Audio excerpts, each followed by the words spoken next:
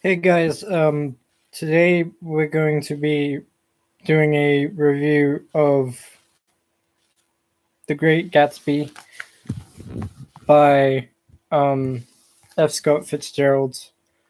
Um, so, Jay Gatsby is this rich um, man who hides himself away in his house. And eventually at the end of the book dies. Um gatsby is um the um american dream uh 20s um man who prides himself on throwing opulent parties for everyone.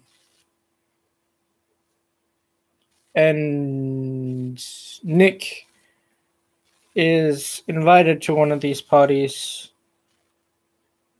and he helps Gatsby with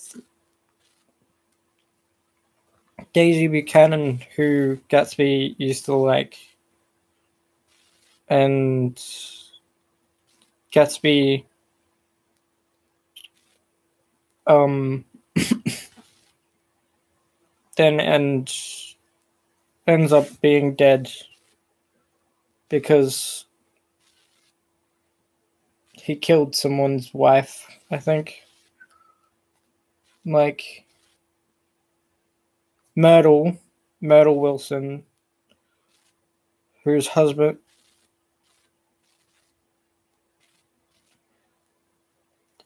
the George Wilson, who Myrtle's wife, Myrtle's husband, George Wilson, who Myrtle basically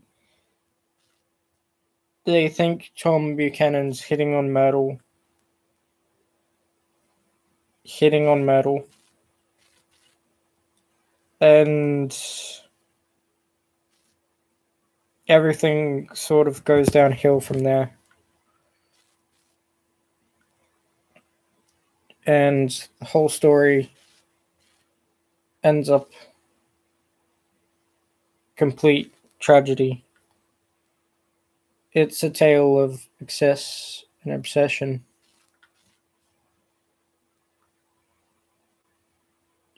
And is a work of 20th century American literature, classic American literature. And so, if you like this video and you want to see more by me, and you want to see more by me,